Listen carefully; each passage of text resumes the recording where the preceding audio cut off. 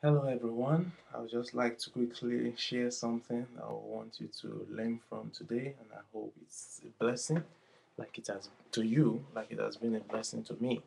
And what I focus on a lot is just um, things that relates to quotes, things that relates to motivational speaks, I mean talks, inspirational and encouraging discussions from Zig Ziglar, Jim Rohn and people of that kind and I'll just continue to share them on this channel from time to time. You are free to join me anytime and um, also enjoy the quotes with me. Today, I just want to pick a quick one, and that is one that says, To do two things at once is to do neither. To do two things at once is to do neither. This was a quote by Publius Syrus. Publius Syrus. I hope I'm right. Just don't mind my uh, pronunciations, but that's just something to keep to mind today.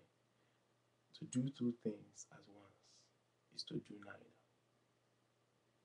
Yeah, the computer can comp can comprise a million and one. In fact, a computer was a supercomputer was made by IBM recently that can that can deal that can process about a trillion transactions in one second.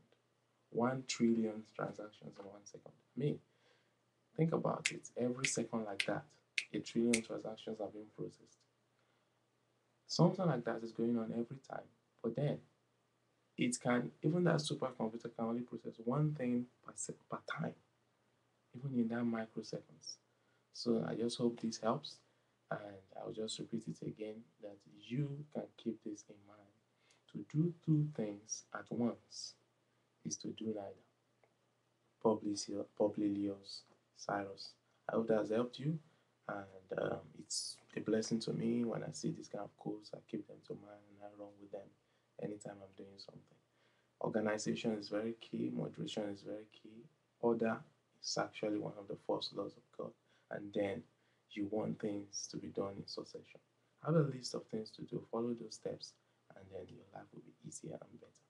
Don't try to force two things, two projects, two activities at the same time. Just focus on one thing at a time, and you'll be surprised that you actually achieve greater things faster than having to lump them all together. We'll talk about another idea or another quote some other time, and I wish you all the best. You can be getting this on daily basis or from time to time at sofatoye.com or olaolu.com. That's so sofatoye.com or olaolu.com. Thank you for your time and wishing you all the very best now and for all the days of life. God bless you.